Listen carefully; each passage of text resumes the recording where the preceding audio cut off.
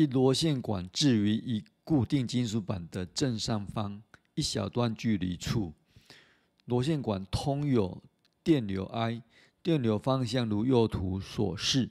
下列哪些情况可使金属板产生逆时针方向的感应涡电流？螺线管的电流方向如箭头方向所示。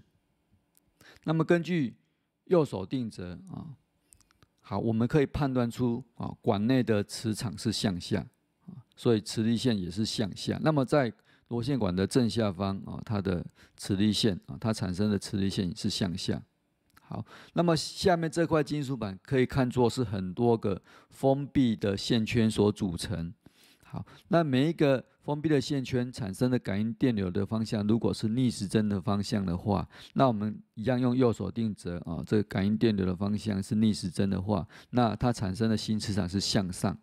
好，那么新磁场跟原磁场的方向相反，那代表原磁场向下的原磁场是正在往下增加。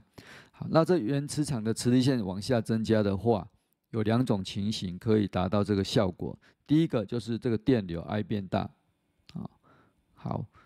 第二个是这个线圈往下移动。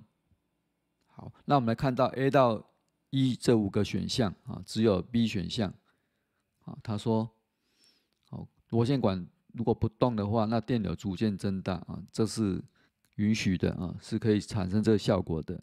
还有 D 选项啊，如果电流不变啊，但是螺线管垂直向下移动啊，也可以达到这个效果。所以这个答案的就是 B 跟猪选项。